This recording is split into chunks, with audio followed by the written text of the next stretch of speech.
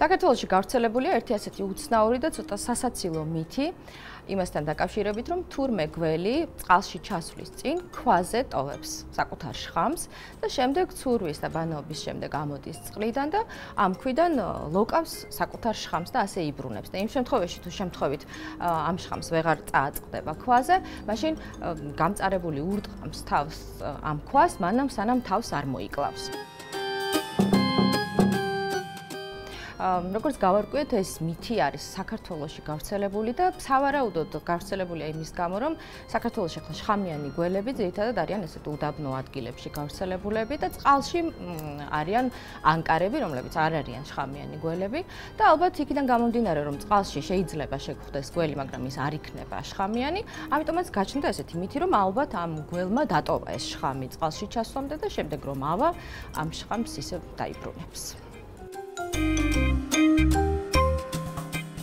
შემდეგი მითი დაკავშირებულია ზღარბთან და ალბათ ყველას ბავშვობიდან მოყვება ეს გამოსახულება, როდესაც მოდის ზღარბი და ზურგზე, ეკლებზე აქვს ჩამოცმული ვაშლი, სოკო და ასე შემდეგ. თუმცა რეალურად ეს არის მითი, უპირველეს ყოვლისა, იმიტომ რომ ზღარბი არის მწერჭამია ცხოველი და არ ჭამს არც ხილს, არც ბოსტნეულს და შესაბამისად ბუნაგში მას არ მიაქვს არანაირი ვაშლი, არანაირი სოკო. შესაძლებელია ვიღაცამ უბრალოდ დაინახა რომ მიდიოდა ზღარბი ტყეში და დაეცა მას ეკლებზე ფოთოლი და აქედან შექმნა შემდეგ ეს გამოსახულება, თუმცა რეალურად ეს არის მითი და არა სიმართლე.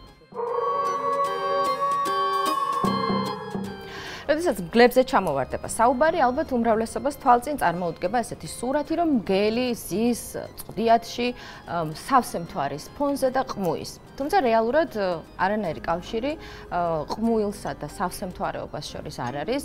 ალბათ ეს მითი სადღაც მაქციების ეპოქიდან იღებს სათავეს, როდესაც სავსე მთვარეზე ადამიანი მგლად გადაიქცეოდა ხოლმე. თუმცა რეალურად მგლებისთვის ყმუილი არის კომუნიკაციის საშუალება.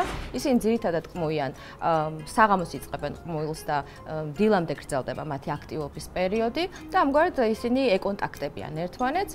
თუმცა მაგალითად იმ პერიოდში, როდესაც მგელს ყავს ლეკვები, ისინი არ ყმუიან, რადგან ამით მათ შესაძლოა გასცენ საკუთარი ლეკვების ადგილსამყოფელი.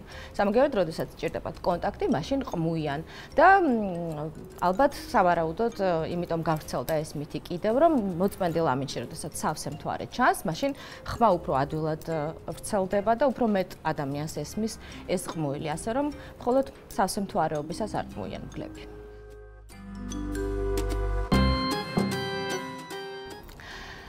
შემდეგი მითი ეხება დათვებს და გავრცელებული ინფორმაციით როდესაც დათვს ძინავს სამთრის განმავლობაში, თურმე მას ის მხარე, რომ მხარესაც ძინავს, ულურჯდება ან ულპება და თურმე შემდეგ ეს ხორცი არ არის გემრიელი.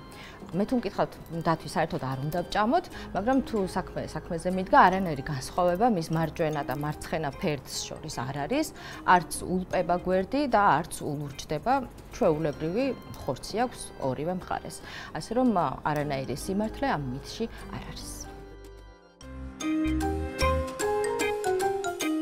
ალბათ ერთ-ერთი ყველაზე ცნობილი და გავრცელებული მითი, რომელიც ცხოველთა სამყაროსთან არის დაკავშირებული, ეს არის ის, რომ სირაქლემა თურმე თავს რგავს მიწაში და შემდეგ ამ მოვლენას ადარებენ ხოლმე სხვადასხვა სიტუაციებს და ავლებენ პარალელებს, მაგრამ რეალურად სირაქლემა მიწაში თავს არ რგავს და მეცაც გეტყვით, საერთოდ არ აქვს მსგავსი ქცევა, რომელიც შეიძლება მიამსგავსო ამ მოვლენას, ასე რომ სირაქლემა მიწაში თავს საერთოდ არ რგავს. თუ შეიძლება რა შვება?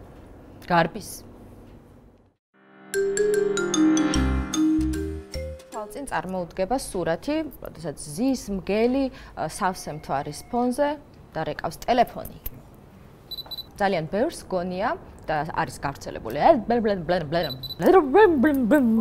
რა მინდოდა ახლა? სხვადასხვა მოვლენების ასაღწერად, ახსაწერად. მე ხო გითხარი რომ ისა მანია მანიაკი ვარ. თუ ძალიან გავაჭუილე მითხარი რომ ვიგონებ თქვა ეგ? ხო თუ შეეშინდა გარბის და თავს არ ჩავა. თუ შეეშინდა გარბის. დებილობა იყო. დათვი? არა ვაფშე არ იყო არც ერთი დებილობა. ვიგონებ